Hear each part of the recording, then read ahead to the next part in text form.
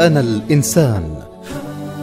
برنامج يقيم متطلبات وفكر وممارسات التعايش في رحلة الإنسانية ودورنا في إدارة التنوع في الحياة وكيف نصنع منها نقوش محبة مميزة للنجاح وإثراء العالم. أنا توافق التراب والسحاب والسنا. أنا تتابع المنى. أنا البناء. أنا الإنسان.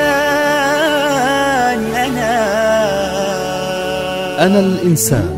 هو برنامج يبني أمل وممارسات التعايش ويستهدف إلقاء نظرة جديدة لمفهوم المجتمعات الرشيدة ودور كل منا في بنائها في وطنه. أنا الإنسان يعيد النظر في علاقاتنا الإنسانية وحتى علاقاتنا مع الطبيعة وفي رحلة التعايش في الأمة ويبحث في الهوية الوطنية. أنا الإنسان برنامج يومي من إعداد وتقديم الدكتور محمد بوحجي. أنا الإنسان من إخراج خالد المرباطي.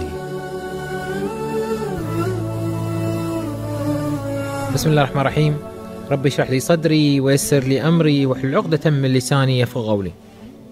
نحييكم أيها الأخوة والأخوات في برنامجكم أنا الإنسان.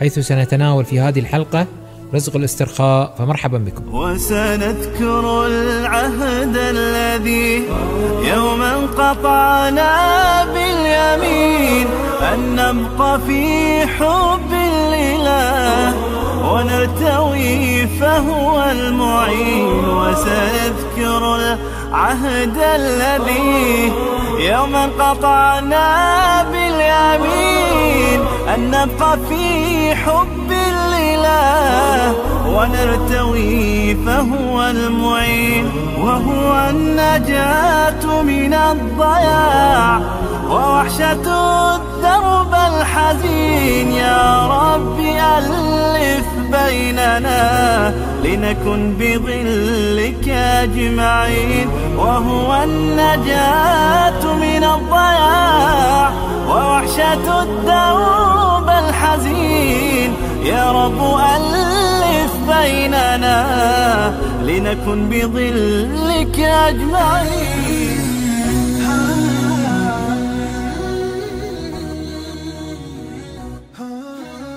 رزق الاسترخاء ايها الاحبه نعمة نحتاجها اليوم في عصر انتشر فيه التوتر وعدم الاستقرار. بل إننا في عصر انتشر فيه الاضطراب والقلق أيضا. فعصرنا ايها الاحبه اصبح تصاحبه ضغوط تواجهنا نحن بني البشر في كل مراحل وطبيعة سعينا في الحياة. ورزق الاسترخاء يساهم في التوقف الكامل لكل الانقباضات والتقلصات العضلية المصاحبة للتوتر والقلق. فالاسترخاء يختلف عن الهدوء الظاهري أو حتى عن النوم. فكثيرا ما نجد شخصا ما يرقد في سريره لساعات طويلة لكنه لا يكف عن إبداء عدم الاستقرار الحركي والتقلب المستمر والأفكار والصراعات النفسية. فمن مميزات رزق الاسترخاء أنه يساعدنا للوصول إلى نفس مطمئنة من صفاتها اليقين والإيمان بالله والقضاء والقدر. فمن رزقوا رزق الاسترخاء يرون أنه لا معنى للتوتر للأعصاب والقلق ازاء الأمور التي تخرج عن نطاق إرادتهم. فإحساس المؤمن بأن زمام الأمور لن يفلت ابدا من يد الله يقذف في نفسه الطمأنينة والسكينة.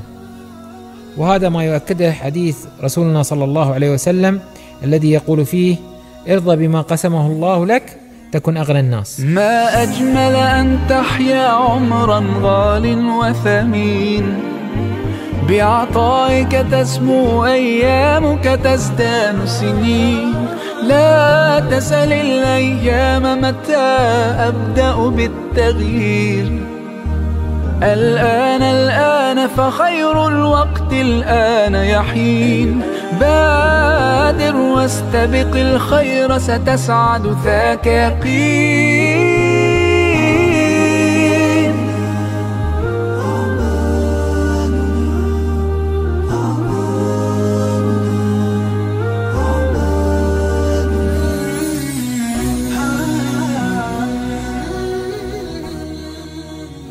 لقد أصبح الاسترخاء يا الأحبة ضرورة من ضروريات الحياة.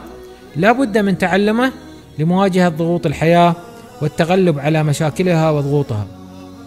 فعادة عندما يسيطر التوتر النفسي على الشخص منا عندئذ لا يستطيع أن يفكر بشكل سليم وحينئذ تصبح ردود أفعاله مبالغ فيها أو غير طبيعية. ولهذا يمكن أن تنعكس هذه الردود وبشكل سلبي على صحته الجسمية والنفسية معا. يرى الكثير من العلماء النفس والاجتماع والإدارة وكذلك الأطباء أن رزق الاسترخاء هو تدريب نمارسه من خلال الجسم والعقل في مرحلة الوعي حيث نستطيع من خلال هذه المرحلة تنشيط عمليات الشفاء الذاتي للجسم. فبمجرد أن نستلقي على ظهورنا في مكان مريح ونسند رؤوسنا إلى وسادة منخفضة مع إبقاء العينين مغلقتين بدون ضغط عليهما ثم نترك لأحاسيسنا العنان تبدأ عملية الاسترخاء. وبالرغم من أننا لا نستطيع أن نتجنب الأحداث التي تحدد اتجاه حياتنا ولكننا نستطيع إزالة التوتر والتغلب عليه بالاسترخاء حيث أنه من خلال الاسترخاء يمكن تعديل ردود أفعالنا إزاء العوامل الغذائية الخارجية أو العوامل المؤثرة. وبالتالي نتخلص بشكل تدريجي من العوامل المؤهلة لحدوث التوتر مما يقلل زيادة إفراز بعض الهرمونات التي تأتي مع التوتر وينجم عنها في الحقيقة ارتفاع في ضغط الدم والإصابة بنقص الدورة الدموية للأعضاء الحيوية سواء لأعضاء القلب أو المخ أو حتى والعياذ بالله تتسبب في حدوث الجلطات. إضافة إلى ذلك يمكن أن يصاب الشخص الذي لا يمارس الاسترخاء بالاضطرابات الهضمية كأمراض القولون والمعدة والاضطرابات النفسية المتعلقة بالنوم والاكتئاب وفقدان الرغبة حتى بالعمل وحتى بالحياة. الاسترخاء رزق أيها الأحبة ولذا يستخدم اليوم في خفض نسبة التوتر وتستخدم تمرينات الاسترخاء إلى تحسين النوم وتخفيف الوزن وتحسين الذاكرة وتنظيم ذبات المخ والتقليل من كمية العرق. كما وجد أن رزق الاسترخاء يساهم في التقليل من حدة الاكتئاب وتقليل الشعور بآلام الجسم والمساعدة على خفض ضغط الدم وتخفيض مستوى الصداع النصفي وتقليل تأثير الأصوات العالية على الإنسان وبالتالي التحسين من أدائه وتحصيله العلمي والدراسي وأيضا أثره في رحلة الحياة. نداء منا إلينا. يجوب خواطرنا. إن أحسنا أرحنا عتاب ضمائرنا.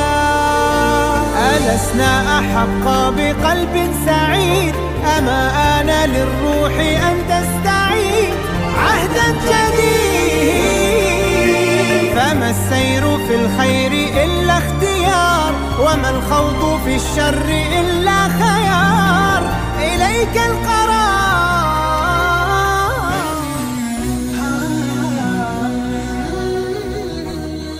وقصتنا لهذا اليوم أيها الأحبة تعبر عن رزق الاسترخاء بطريقة مختلفة.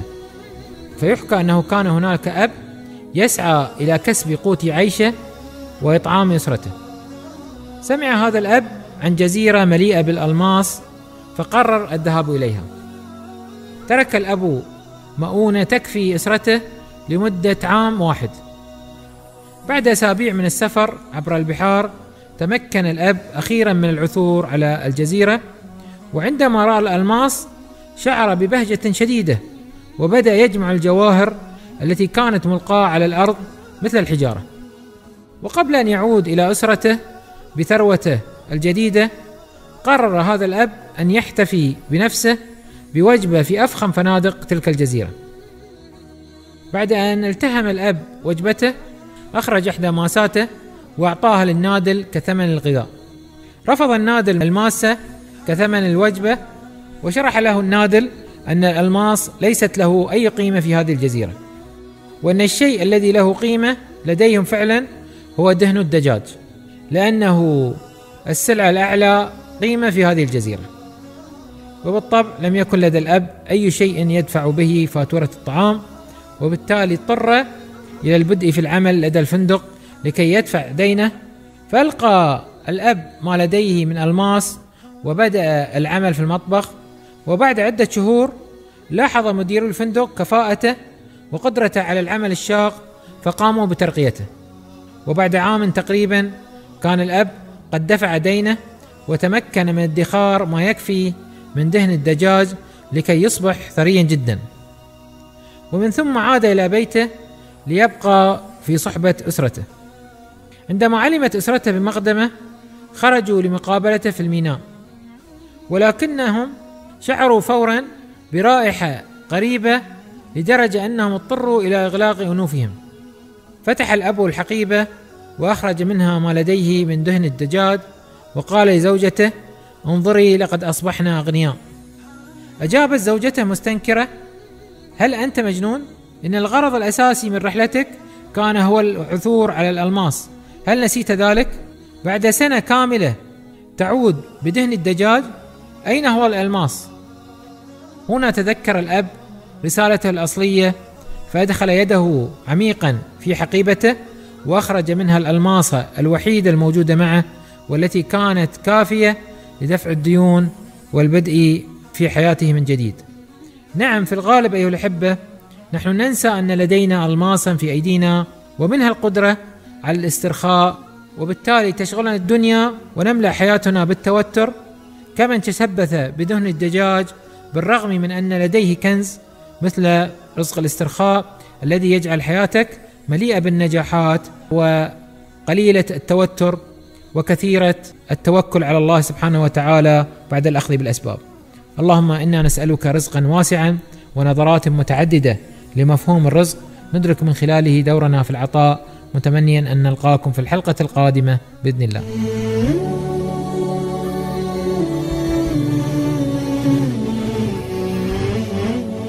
أنا الإنسان. أنا توافق التراب.